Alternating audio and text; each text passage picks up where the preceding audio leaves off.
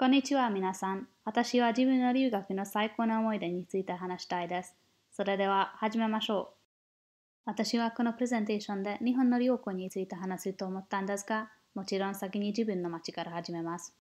おそらく神戸のポートタワーやビーフが一番有名ですが、これは全部神戸の嫌いなところの写真です。あ、そういえばこのプレゼンテーションの写真はすべて自分の写真ですから、よく見てくださいね。私は住人の日本人と神戸のシェアハウスで住んでいました。ハウスは非常にいい場所にあって、家賃も安かったので本当にラッキーだったと思います。彼氏と一緒にこの部屋で住んでいました。ハウスのコミュニティは最高でした。一緒によくローリーしたり、プールしたりしました。例えば、これは流しそうめんのパーティー、たこ焼きパーティー、クリスマスパーティーの写真です。じゃあ、そしてこれは神戸大学です。神戸大学は山にあるので、自然と景色がいっぱいありますよ。しかし、もちろんそのため、大学に行く道は非常に険しいです。じゃあ、今から日本の旅行について話を。日本の旅行の一番好きになったところは長崎です。長崎の各場所に見える緑色が一番好きでした。私は山が好きな人で、長崎は本当に山の都市だ。さらに、今まで食べたラーメンの中で長崎ラーメンは一番美味しいと思います。それで長崎の歴史も大変面白いです。例えば、みんなは出島のストーリーが知っていますか？昔は長崎に外国人がたくさん来ましたよ。例えば、これはグローバーガーデンズというところです。最後に長崎に行ければ、もちろん長崎のメモリアルパークもぜひ見てください。そしてできれば、軍艦島のクルーズにも行ってくださいね。軍艦島は本当におすすめです。このちっちゃい島のお人口はある時5000人以上でしたよ。しかし今日はゴーストタウンになりました。では次のおすすめのところは人々にあんまり知らないですが、私は日本の一番きれいなところの一つだと思います。兵庫県である武田城は時々日本のマチュピチュと言われています。曇っていた朝には本当に幻想的な光景が見えます。武田城の日の出をハウスの人たちと見に行きました。ハウスのグループと多くの車で旅行しました。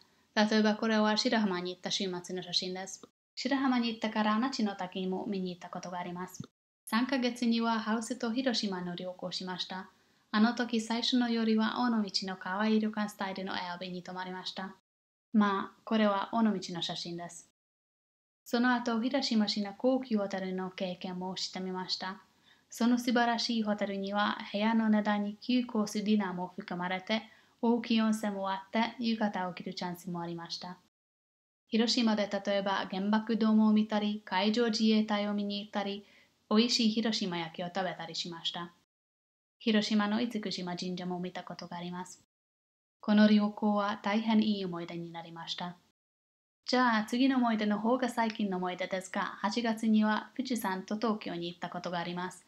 富士山の周りに多くの綺麗なところを見たり、川口港の周りにバイキングしたり、富士山の大きさに驚かされたりしました。まあ私は東京にびっくりしました。普通にはそのような大きい都市が嫌いですが、東京は結構好きになりました。1年間日本に住んでいたので、日本の4つの季節を経験したことがあります。これは夏の鳥取砂丘、冬の北海道、秋の奈良、そして春の吉野山です。日本だけではなく外国にも旅行しました。私は子供頃からオーストラリアに行きたくて、去年やっぱり行ったことができました。シンリーと近くのブルーマウンテンズでハイキングしました。ちょっと怖いけど楽しくて狭くて険しい道で歩いて素晴らしい景色をたくさん見ました。オーストラリアに行った時、メルボンも訪問しました。メルボンは非常に住みやすい街そうです。じゃあ、もちろんもっと近いところも訪問しました。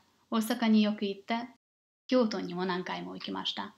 京都は世界大戦がいっぱいあるので、京都の有名なところの日帰りをたくさんしました。京都の一番好きなところは嵐山です。去年は綺麗なところをたくさん見たので本当に嬉しいです。日本は全く面白い国です。いろいろな違う景色があって、日本で旅行するは本当に楽しいです。去年いい思い出がいっぱいあって、日本に留学できて誠に嬉しいです。